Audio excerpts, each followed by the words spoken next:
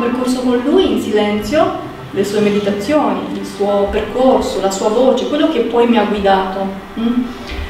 E così è nato questo progetto, così è nato questo centro. E niente, gli ho scritto, gli ho detto grazie, ti ringrazio e ti voglio far sapere che sei parte di me tutti i giorni. E un giorno appunto mi piacerebbe conoscerti, piacerebbe averti nel mio centro, nel mio progetto insieme a te, perché poi alla fine è stato il nostro progetto, no? che se lui in realtà non sapeva niente.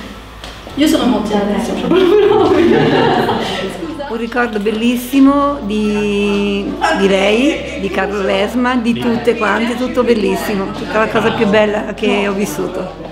Bella. Una meditazione che siamo abituati a imparare a conoscere perché è una meditazione più orientata alla ricerca interiore, quindi a un viaggio interiore.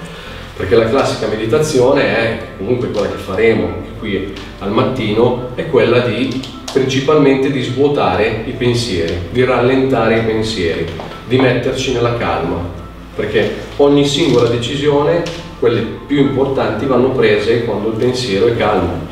Quando il pensiero è agitato non prendiamo decisioni, a meno che ci deve essere un istinto di vita, o fuggi o lotta. Allora quello è un altro principio, cioè sono nell'istinto, ok? Mi devo difendere ma se devo comunque prendere una decisione devo fermarmi, capire come sono i miei pensieri, com'è la mia emozione, come sono le mie sensazioni e poi reagisco. Ciao. Eh? No, grazie di tutto, grazie della bella esperienza. Eh, notti, giusto, la sera. Sì. Tutto ciò che esiste una volta era immaginato e tutto ciò che esisterà dovrà prima essere immaginato. Usa l'immaginazione per configurare la vita che vuoi. Ciao.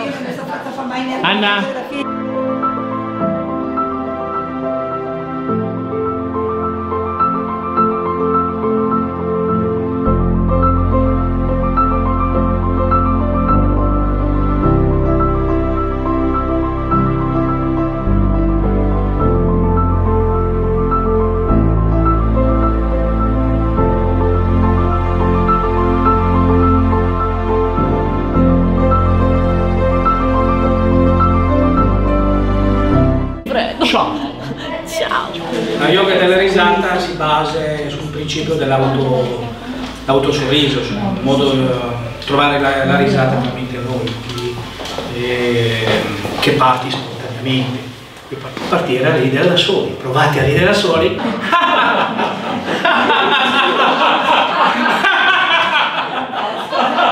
Carlo, sei un grande, sei. Ci vediamo alla prossima.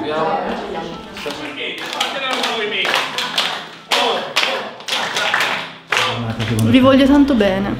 Grazie, grazie di tutto.